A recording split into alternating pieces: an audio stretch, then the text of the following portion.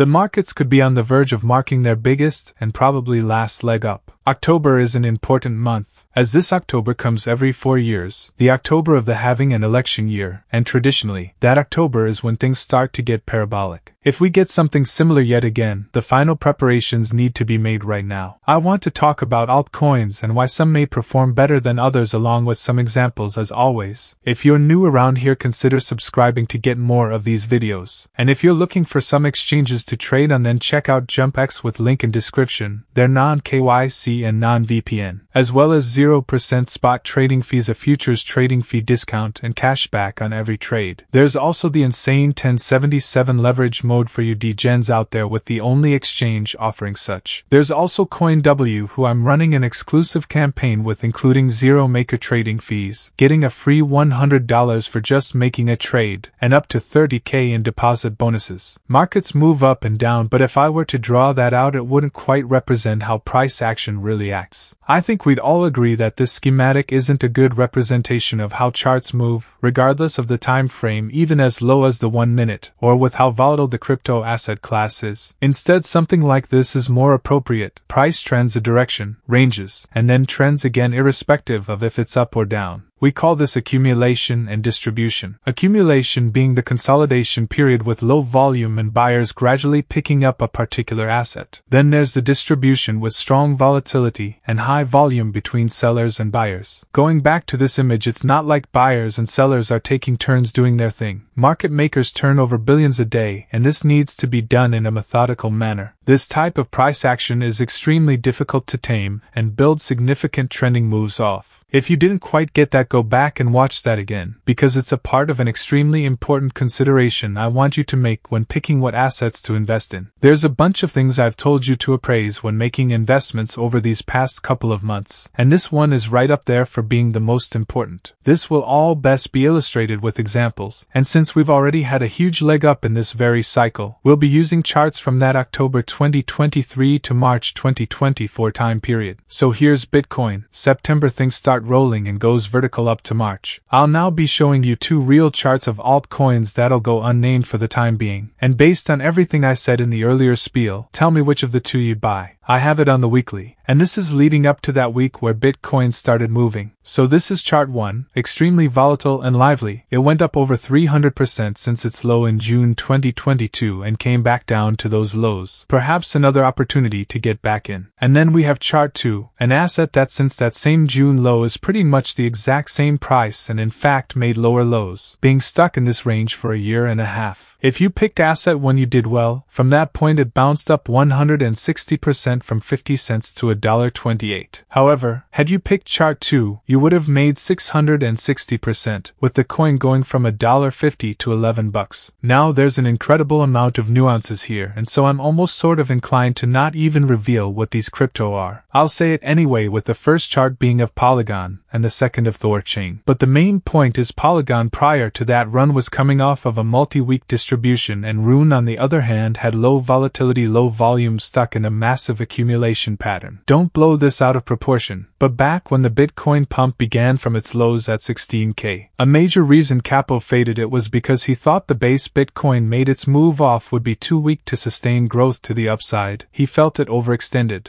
and zooming out he was evidently wrong, but I think his mistake was being too caught up in the lower time frames. I tweeted not so long ago how my personal outlook was that this whole thing down here was a range, and this was simply a deviation below, and so to me it was a sufficient base. A lot like Polygon Quant was another crypto that did incredibly well in the bear market going up 460%, but since that top it had vicious distribution to the downside, and when Bitcoin started its move Quant could barely keep up. But if I told you back then then about how lackluster Polygon and Quant would perform up to this point in the cycle, most of you wouldn't believe me. They were some of the most raved about crypto at that time being shilled all over the socials. Guys like Miles making dedicated videos, but an investing concept as simple as accumulation and distribution tore them apart. So far the point is this base is really important, and if you haven't figured it out by now, a lot of your favorite crypto have already made huge runs. And so now you have to ask yourself if Bitcoin goes parabolic from here, Is your altcoin looking a little too much like Polygon or Quant leading up to that run? Because if so, I just showed you how that ends. Now, to be extremely fair, you won't find many crypto looking like that Thorchain chart because we have had a mini everything up run. But there's still some crypto out there forming stronger bases than others. Going back to our drawings, I guess the way I'd put it is look for crypto that are doing this versus those that look like they'll do this before that Bitcoin run. Instead of the weekly, we'll go on the daily because I'm not expecting multi week ranges here. For example, something like a Chainlink could possibly have this as its base, which it's been in for around 40 days so far. But then something like a TAO is creating a textbook range here, which it's about to be in for around 100 days, probably one of the highest counts of any top 100 asset. I constantly get asked about my opinions on BitTensor price action, but I've left it sort of alone for a while until now so that I could make the very point I just did. Stacks looks like it's also one in this 100 day range, and then hopefully for DOT fans, this is its range of 40 odd days, and that it doesn't break down further. This is actually one of the reasons I recently went into DeFi, with Curve also forming a 100 day range and Convex quite possibly having a 65 week range depending on how you look at it. Remember, this is just simply one of a multitude of things to consider, but I'd highly recommend at least looking into it. There's one more category of crypto to consider, however, those that aren't coming off of hard distribution downward and nor are they range bound. Instead, the opposite